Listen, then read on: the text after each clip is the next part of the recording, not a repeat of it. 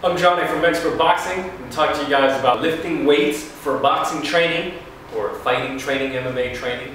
Uh, I think it's okay to use weights, to use resistance training for strength and conditioning purposes. Using weights or using resistance can definitely uh, increase your speed, increase your power, give you endurance. Um, so I, I, like it for those things. Uh, will it give you more punching power? I don't really think so. I think that comes with technique. Will it give you better footwork because you have stronger legs? Mm, a little bit yes and no, uh, because that kind of thing comes with technique and flow and rhythm and just being skillful at using your body. It's not so much that you need strong leg muscles to move you quick. You know, quickness is just being able to control your body well. And I think power punching is being able to control your body well, not so much about muscles. Some things about lifting weights, I would say, if you're gonna do it, is to focus on the bigger muscles, okay?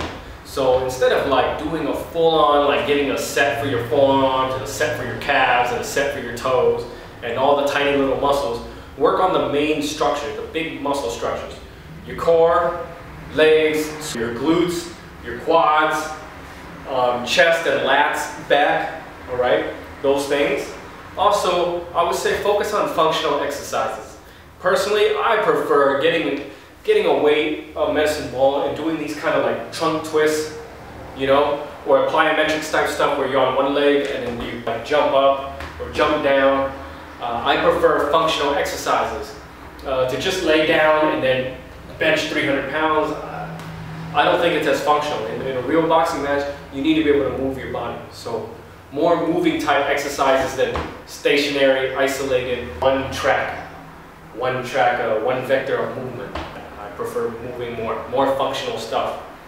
Also, I would say uh, don't lift too heavy, you know.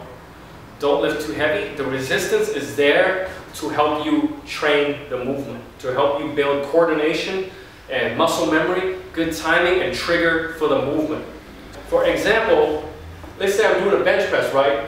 This movement itself is very easy. So even if I add a, a ton of weight to it, I wouldn't say that's making me better at the movement. I prefer, like I said, medicine ball. I, I like this. I want this movement because not everybody's good at this. You'd be surprised. Some people, they go to the left all the way and the right, they only go a little bit.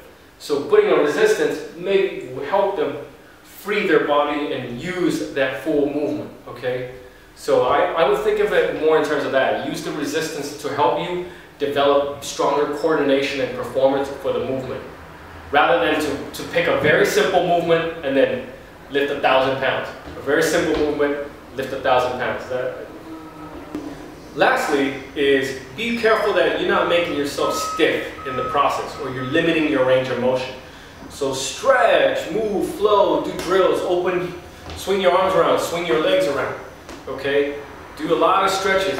Make sure you keep everything nice and loose. You don't want your muscles to become all balled up tight and then you, be, you become this kind of stiff, tense sort of fighter. You want to become loose and relaxed, powerful, but still able to move in all directions with your full range of motion without having to use so much uh, energy.